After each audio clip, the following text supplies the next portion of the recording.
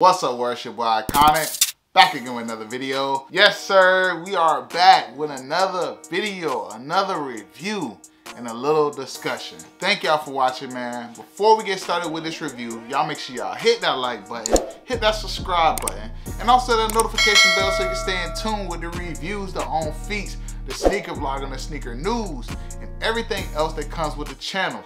Not gonna waste no time, let's get into it boom. We have it here. And you can tell man my energy is very low for this man because as of right now i'm feeling like the sneaker game has been ruined. Feeling like the sneaker game has been ruined by this little box right here bruh.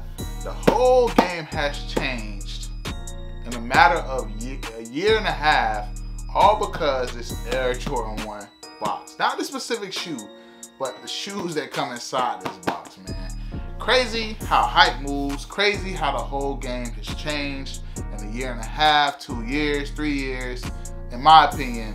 Um, when it comes to just individuality, uh, sneaker choice, sneaker hype, everything, man. This box right here is the one to blame. But this shoe in this box right here, box label reads Air Jordan 1 Retro High OG.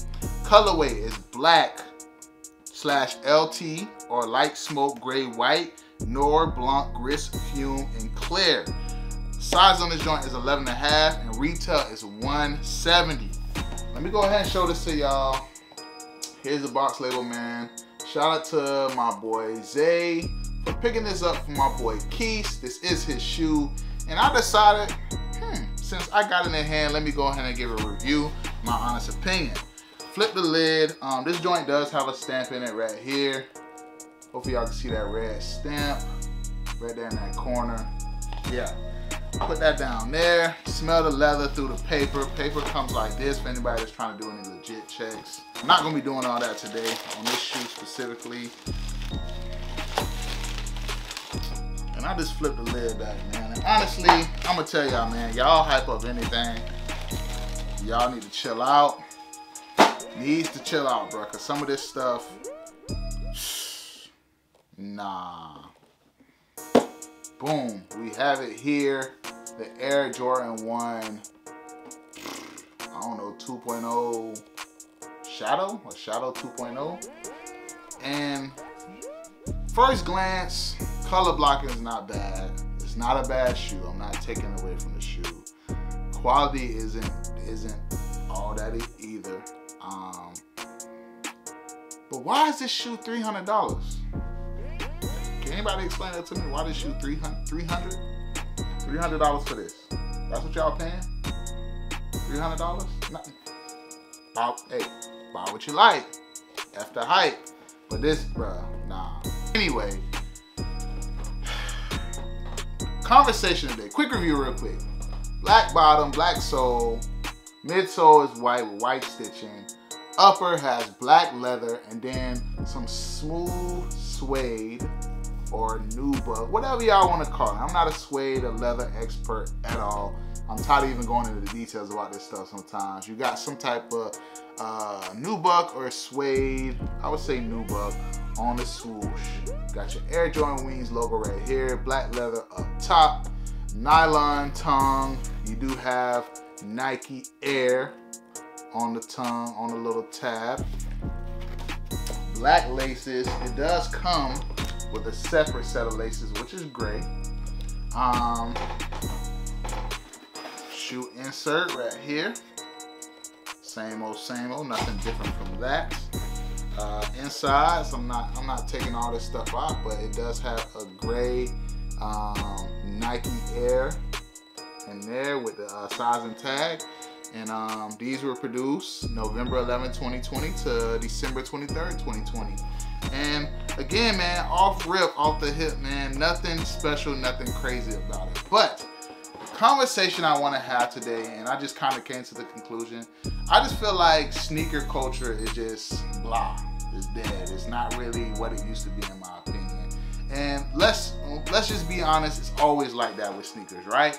Um, it's like the sneaker wave comes and go. Um, being a sneakerhead comes and go. It all depends on who's hyping up the shoes, what's popular. I was watching a lot of stuff from Wally today, and he was just saying the same thing. Like, in 2009, 2010, 2011. And it's crazy, like, you know, I'm just looking at this 2021, this 10 years later, right? Which is crazy. Just looking back at some of this stuff and it's just like, that's how I'm feeling right now, man. Like, people don't know nothing about sneakers. People are buying a lot of, buying a lot of unnecessary, well, all of us buying sneakers unnecessary, a lot of people are buying colorways and buying shoes uh, off the hype you know what I mean? Not even like, don't get me wrong, like if you like shoes like this, it's cool. Like you gotta buy what you like. I'm not taking that away from people, right? But no variety, no love for the game. There's no nothing, bro. And on top of that, like don't get me wrong, you know, even me, I buy some shoes and hold them sometimes so I can be able to trade some shit that I really want later on in the future because that's where the game is now. I wouldn't mind trading somebody straight up for a shoe, but nobody wants to do that. All the sneaker resale shops are just buying hype shit. So I gotta buy the hype shit, sit on it, and then trade it for some OG shit that I like because the OG shit is like $600. $700, $500. So it's like, sometimes you be like, damn, I kind of, why you spending so much money on shoes? It's not me. I have to, I have to make a way to be able to make it even, make it even for me to feel like I, not even that I feel like I won, but I feel like I broke even. You feel what I'm saying? And a lot of times that's all I be doing is breaking even when I sell some shit to get another shoe that's 600. Like, don't get me wrong, I probably paid 170 or let's say 340 max for two pair of Jordan 1s, but if they go to $400 each, then I'm flipping, that's 800. You know what I mean? That's just simple mathematics. That's what I always used to do before I even started getting deep into this shit, is that I used to resell like one pair or two pair to get my pair for free. You know what I mean? Because back then, people weren't getting, I wasn't getting money like that, bro. I wasn't able to buy a shoe every week or every other day when they came out, which is crazy to even say now that we do that. But back in the day, bro, we weren't doing that. Sneakers came out every other week, or every other month, or you know, it'd be a bunch of drops, but nobody was grabbing shit. They would let it sit, and then you know, or Jordan release would come out, and then you say, okay, you gotta have your money for that because it's gonna sell out. But man, personally, to me, the game is just different, man. And I'm not shunning anybody that's buying Jordan 1s or buying stuff. You know what I mean? It's not even just a hype beast. It's, it's, it's not just the resellers. It's all of us collectively, right? I just feel like it's no love in it. And I'm not talking about just about prices or none of that shit. Cause that's, sneakers gonna be what it's gonna be. It's always been sneaker resale shops, nigga. We heard about Flight Club when we were jits. When we was in middle school, I was hearing about Flight Club. So that's not the issue. So I'm just talking about just the love, bro. Like when I grab something like this, like a Deion Sanders, like you know what I mean? Like I, I find a lot of passion into a shoe like this because like it reminds me of an era, a time that you know was in the 90s. You can't get this time back, bro. Like and it's just, I remember people wearing this stuff. You know, my older brothers wearing this type of stuff. This type of stuff being popular in high school, at, what, at least at what the school I went to. Griffeys, like Air Max 90s, you know what I mean? Air Max 95s, um, you know, stuff like that. Um, you know, it's just it's just different now, bro. Like wanting the Air Bakins because Tim Hardaway, uh, you know, because they made it for Tim Hardaway, and knowing that one of the versions that came out were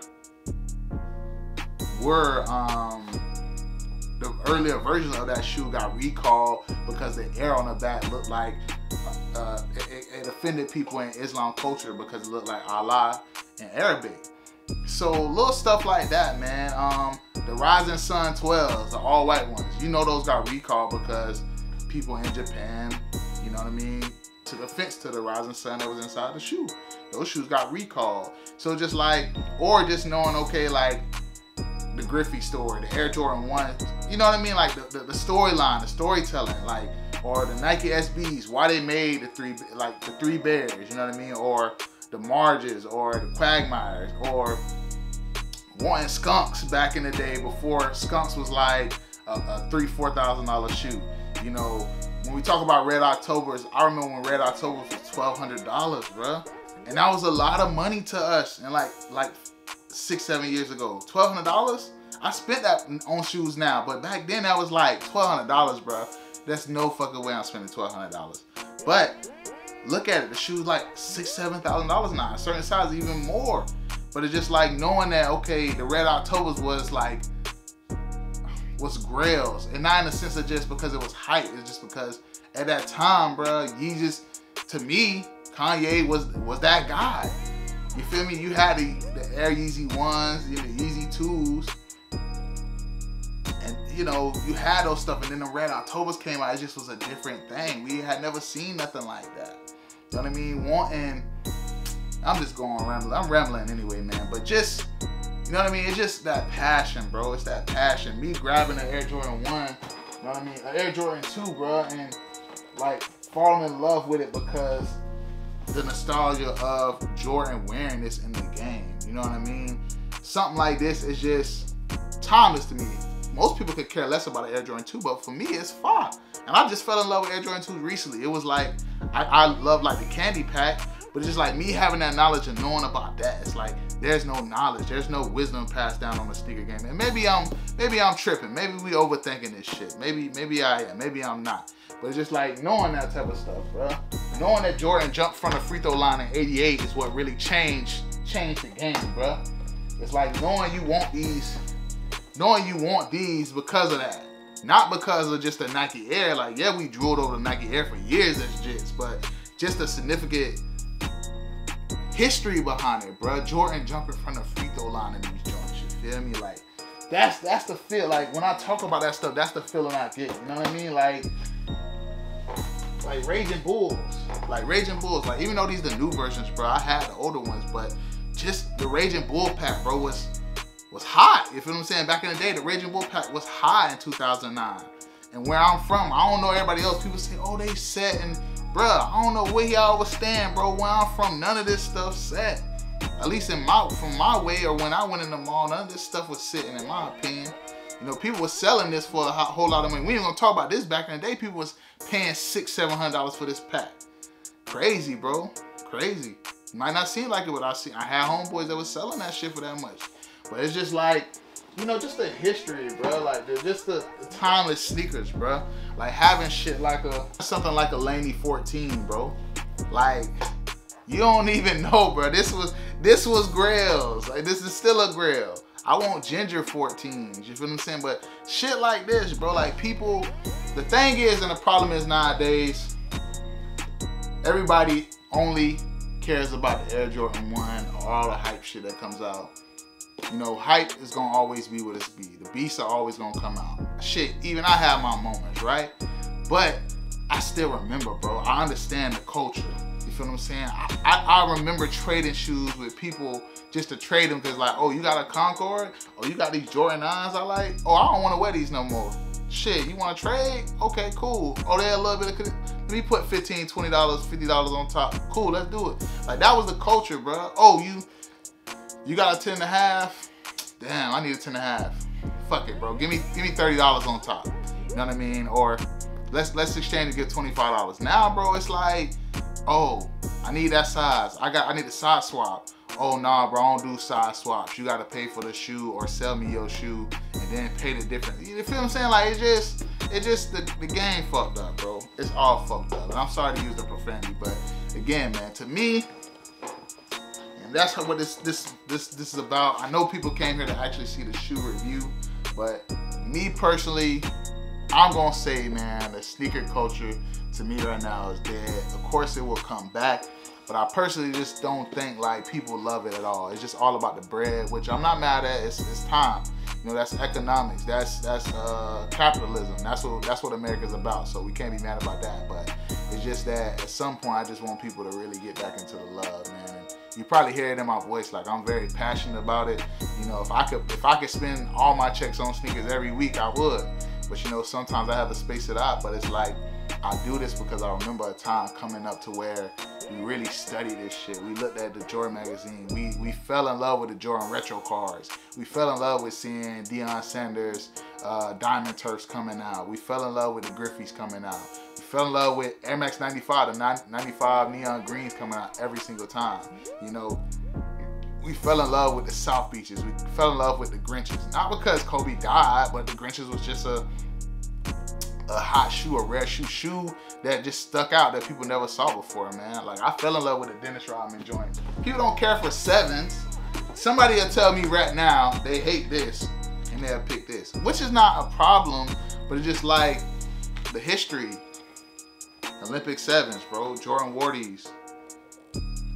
Got the number nine on the back, bro. You just had to be there for me. You had to be there. And um, yeah, man, that's it for the video, bro. I ain't gonna ramble on. Y'all let me know what y'all think about the shoe. Let me know what y'all think, man. Is sneaker culture dead? Personally, in my opinion, I feel like yes, it's dead. It will come back at some point. But in my opinion, this Air Jordan, the Air Jordan 1 down there ruined the game, bro. Down there ruined the game. Hype Beast ruined the game. Resellers ruined the game. And most importantly, the purchaser, bro. The people that buy into the shit. Even me. I bought into some hype shit before. But nowadays, everything's reselling for 300 or better. And I'm not understanding why. You know what I mean? I'm not understanding why. I'm not understanding why people are buying shit just to look at it. You know what I mean? They don't even wear it. It's just weird. Just weird times for me. So, yeah, man thank y'all for watching. That's it for me, man. Y'all make sure y'all hit that like button, hit that subscribe button, and also that notification bell so you can stay in tune with the reviews, the on feast, the sneaker vlog, and the sneaker news, and everything else that comes with the channel. Thank y'all for watching. Future belongs to those who prepare today. Till tomorrow, y'all.